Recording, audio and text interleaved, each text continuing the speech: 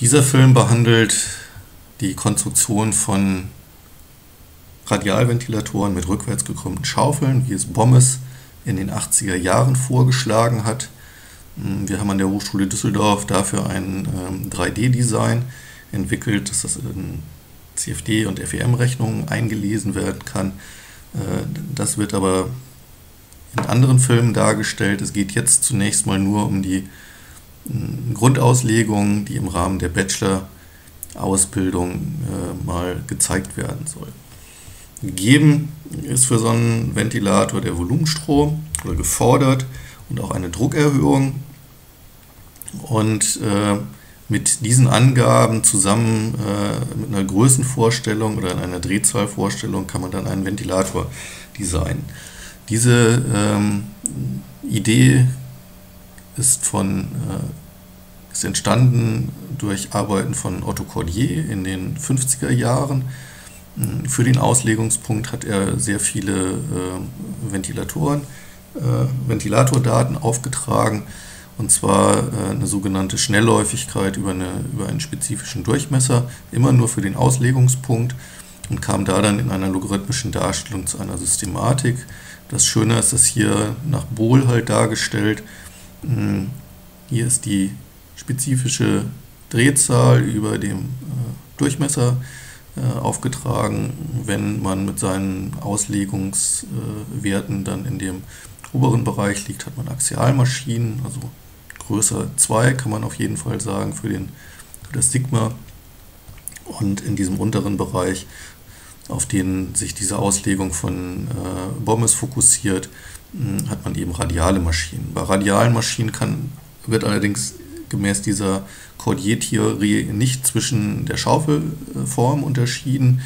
Hm, die Schaufelform, äh, vorwärts gekrümmte Schaufeln, äh, radial endende Schaufel für Feststofftransport oder äh, rückwärts gekrümmte Schaufeln unterscheiden sich äh, ganz heftig äh, in puncto Energie, hm, Aufwand und auch äh, Geräusch. Hm, also die vorwärts gekrümmten vergeuden ganz viel Energie. Hm, das hat Bommes deutlich machen können, indem er in ein und demselben Gehäuse ähm, für den äh, Ventilatoren mit unterschiedlichen Schaufelformen vermessen hat und äh, der mit den vorwärts gekrümmten Schaufeln hat die größte Leistungsaufnahme, erzielt zwar auch die höchsten Drücke, hat aber mit Abstand den schlechtesten Wirkungsgrad. Äh, wirkungsgradmäßig ist hier die Maschine unten mit dem kleinsten Austrittswinkel äh, am günstigsten. Hm, Im Rahmen von einer anderen Übung äh, einer Excel-Übung, die im Praktikum äh, auch manchmal durchgeführt wird bei uns, wird dort ein Vergleich dann durchgeführt aus diesen dimensionslosen Darstellungen der Folie zuvor, kann man eben mh, mm, sich wirklich absolute Kennlinien halt verschaffen. Äh, die von den rückwärts gekrümmten Schaufeln schneidet die von den vorwärts gekrümmten Schaufeln nahezu am Optimalpunkt. Hier ist der Wirkungsgrad aufgetragen in diesem Diagramm und 20% Wirkungsgrad, also 20 Prozentpunkte Wirkungsgrad äh, vergeudet man bei den, äh, bei den vorwärts gekrümmten Schaufeln. Die vorwärts gekrümmten Schaufeln können zwar etwas langsamer laufen, sind dadurch leiser, aber äh, sehr viel Energie wird dadurch vernichtet. Das äh, mit der niedrigeren Drehzahl ist dann auch häufig der Grund, warum die in Cockpits von Autos oder in Klimaanlagen eingesetzt werden. Hier geht es jetzt aber eigentlich um unser Design-Tool, was äh, im Jahr 2007 äh, begonnen wurde zu programmieren.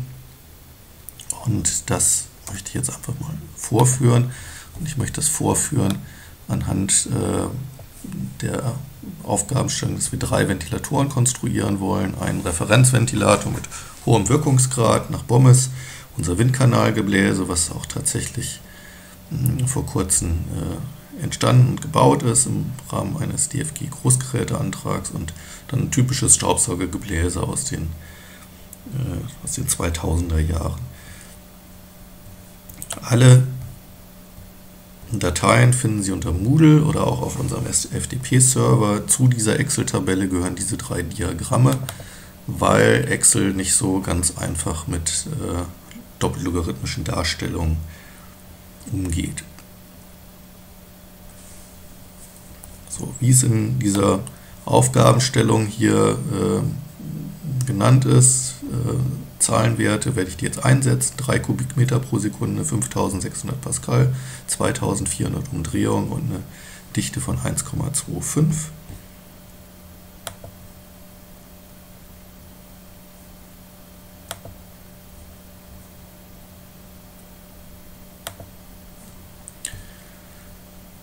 Hier ist das, äh, das Cordier-Diagramm äh, zu sehen und der Arbeitspunkt. Das ist aber alles auch hinterlegt in so einer ganz netten GUI, die ich hier jetzt benutze. Und da gebe ich mal die Werte ein. 3 Kubikmeter sind 10.800 3 Kubikmeter pro Sekunde sind 10.800 Kubikmeter pro Stunde, 5.600 Pascal. Dichte war jetzt hier von 1,25 angegeben. Das hat jetzt nicht so einen großen Einfluss, ob 1,19 oder 1,25. Und dann rechne ich mal, der, die optimale Drehzahl wäre jetzt etwas größer. Wir kommen aber hiermit jetzt genau auf diese 720 äh, mm. Also optimal nach äh, der Theorie wäre man eigentlich bei 600 mm Laufraddurchmesser. Und dann können wir uns mal mit dem Gehäuse beschäftigen. Das wäre jetzt äh, 1,8 mal 1,4 Meter groß. Das ist zu groß und darum orientieren wir uns jetzt mal hier an dem Laufrad und machen mal ja, das Laufrad ungefähr doppelt so groß wie diese optimale Laufradgeometrie. Starte ich einen Optimierungsprozess.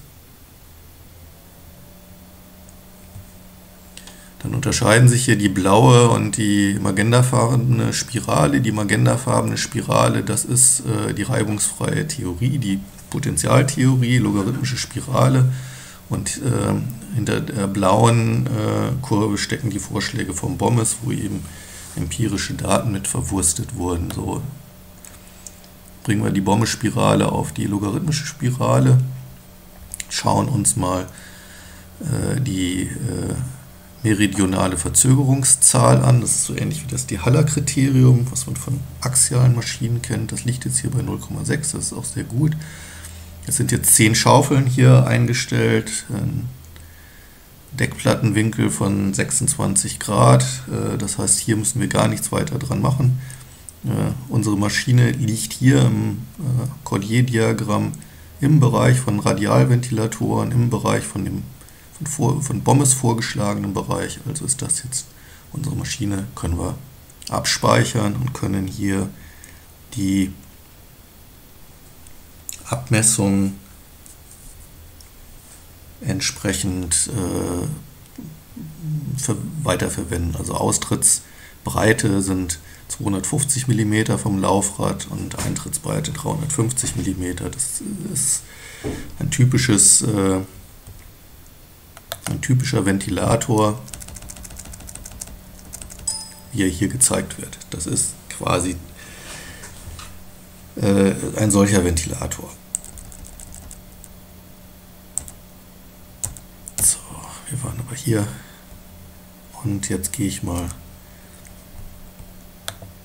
zu dem zu dem zu der nächsten Maschine das wäre jetzt das Windkanalgebläse, also ein sehr großer Volumenstrom, 18 Kubikmeter pro Sekunde und kleiner, kleinerer Druck. Ich gebe die Werte mal hier ein in die Excel-Tabelle. Dann habe ich äh, 64.800 Kubikmeter. Die Druckerhöhung liegt jetzt nur bei 1400 die man für den Windkanal halt braucht, für eine vernünftige Durchströmung, Dichte, Umgebungsbedingungen. Und das ist ein, mit einer großen Maschine. Ich kann jetzt auch, ich lasse mal die 2400 da stehen, ich kann jetzt erstmal hier eine Rechnung durchführen. Dann zeigt er mir hier Werte an. 455 ist eine sehr kleine äh, Drehzahl, die sogar ausreichen würde. Aber da müsste ich halt sehr groß bauen, 2 Meter. Äh, und gehe, darum gehe ich jetzt hier auf, einen, auf eine kleinere Drehzahl und dann habe ich auch nur einen kleineren ähm, Gehäuse, äh, einen kleineren Laufraddurchmesser und kann auch ein kleineres Gehäuse halt äh, bauen. Das muss ja eben auch in den, bei uns in den Keller halt reinpassen. Hm. Das Gehäuse wäre hier jetzt von den Idealwerten 13 Meter mal 7 Meter groß, vollkommen unrealistisch. Ähm, ich gehe jetzt mal hier auf 2,6. Das habe ich vorher auch etwas ausprobiert. Und dann kann man schon sehen, dass wir hier auf, einen, auf, eine, auf sinnvolle Bedingungen halt kommen. Allerdings sind äh, Eintritts- und Austrittsbreite des Laufrades hier noch extrem groß. Deswegen gehe ich hier in so einen Korrekturfaktor rein und verändere meinen Wert und den muss ich jetzt hier sehr klein machen. Bestätige ich hier unten. So, dass ich hier noch in diesem Bereich von 0,6 bis 0,8 liege. Da bin ich halt knapp drin. Ich gehe mal hier, also mache jetzt noch die äh, die Deckscheibe etwas schräg, dass der Eintrittsquerschnitt größer ist als der Austrittsquerschnitt. Achten Sie mal da auf diese Werte. Wenn ich jetzt hier bestätige, ja, dann wird, der Austritts, äh, wird die Austrittsbreite etwas kleiner. So, dann habe ich aber auch hiermit meinen äh, vernünftigen Ventilator und kann diese Geometriedaten jetzt eben äh, für die Skizzierung der äh, Gehäuse- und Laufradabmessungen halt verwenden. Ja. Ich wollte ja noch ein drittes äh, Gebläse dimensionieren, nämlich den Staubsauger mit 130 Kubikmeter pro Stunde an Volumenstrom 20.000 Pascal, 35.000. Dann schauen wir uns mal die Maschine an. Also das sind 130 Kubikmeter. Hier habe ich 64.000. Ne, Entschuldigung. 20.000. Pascal Druckerhöhung 1,2. Ja, mal gucken, welche Drehzahl. 7000. Ja, die Maschinen drehen aber mit bis zu 35.000, um eben kleiner zu werden. Das geht dann natürlich auf, die, auf den Wirkungsgrad. Äh, hier und ich habe jetzt aber eben optimal wären hier 5 Zentimeter. Ich habe jetzt hier 9 Zentimeter bei 35.000 äh, Pascal bei 35.000 Umdrehungen pro Minute. Gehen wir hier äh, rein, gucken wir mal jetzt die Größe an. Hier habe ich 150, mache den nochmal etwas kleiner in den Bereich von 120 mm.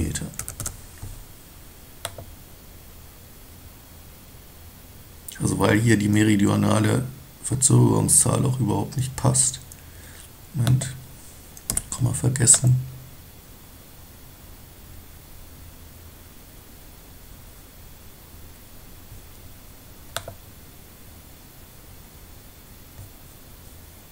ist jetzt etwas rausgelaufen aus der Optimierung. Ich setze hier mal nochmal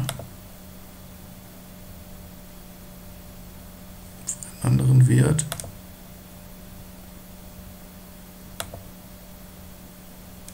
Ja, tut mir leid, ich muss dann hier nochmal die Grundberechnung durchführen.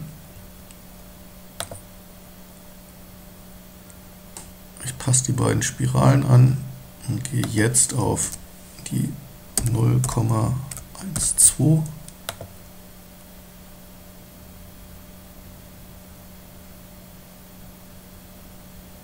So, jetzt habe ich auch hier eine, wieder eine vernünftige meridionale Verzögerungszahl. Und äh, ich ändere aber hier, das ist eine, ein sehr steiler Winkel jetzt für die für die Deckscheibe und auch meinen Äh, Designfaktor vom Laufrad muss ich noch verändern, weil hier meine Abmessungen noch zu groß sind mit 46 mm und 20 mm. Darum gehe ich hier mal auf 1,5. So, dann habe ich hier nämlich 16 mm am Eintritt und 8 mm am Austritt. So, hier erreicht zwar die 0,6 nicht ganz, aber das sieht jetzt auch nach, nach einer vernünftigen Maschine aus, mit immerhin noch einem Wirkungsgrad von 78 Ja, soweit mal vorgeführt die, äh, das Design. Äh, hier ist die Prozedur nochmal äh, insofern zusammengefasst. Also wir haben diesen Zweig genommen, dass wir die Rotordrehzahl vorgegeben haben und entsprechend dimensioniert haben.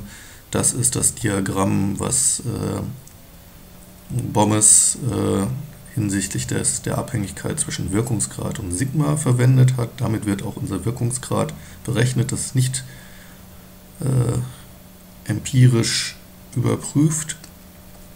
Die Herleitung äh, von äh, der dimensionslosen Drehzahl, äh, die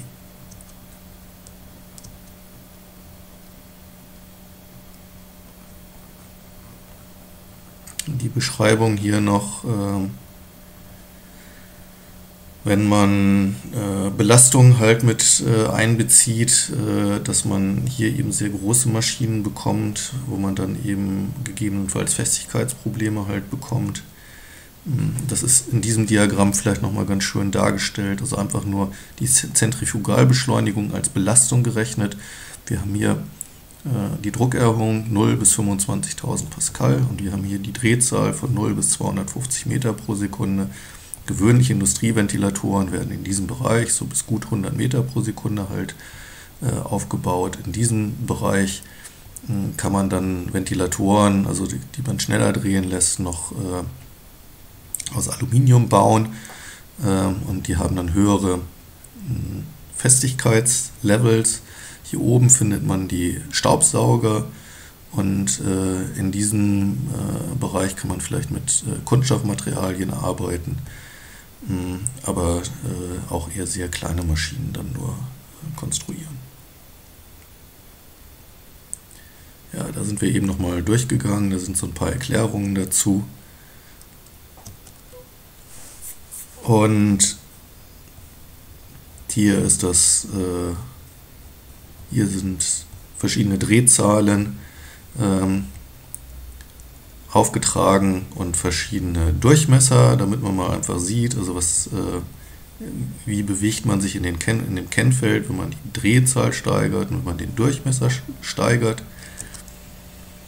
Äh, wirkungsgradmäßig ist das von äh, Fleiderer und Petermann in diesem Diagramm mal dargestellt, also dass man eben auch bei großen Maschinen äh, den Wirkungsgrad abwerten muss und bei ganz kleinen Maschinen dann eben auch wiederum. Und äh, diese Geschichten haben wir jetzt faktisch mit unseren drei Beispielen eben durchgerechnet. Und hier sind auch nochmal äh, die Lösungen äh, dargestellt. Also hier eben der RV 720, also hier ist äh, die Dichte etwas anders genommen, darum sind das 733 mm. Der Windkanalrechner, der also schon ganz, ganz äh, Windkanalrechner, der Windkanal, äh, das Windkanalgebläse, was jetzt schon sehr nah an im axialen äh, Bereich halt liegt, große Volumenströme. Und äh, hier ein äh, ein Staubsauger mit etwas anderen Werten, als ich sie jetzt eben äh, gerechnet habe. Also noch höhere Drehzahl, etwas kleinerer Druck. Aber das geht in dieselbe Richtung. Ja, ein neues Thema ist dann, dass man mit, äh, diesen, äh, mit diesem Auslegungspunkt kann man dann aber eben in eine weitere Tabelle gehen und äh, die Kennlinie abschätzen. Das ist aber ein neues Thema. Äh, dafür gibt es einen neuen Film.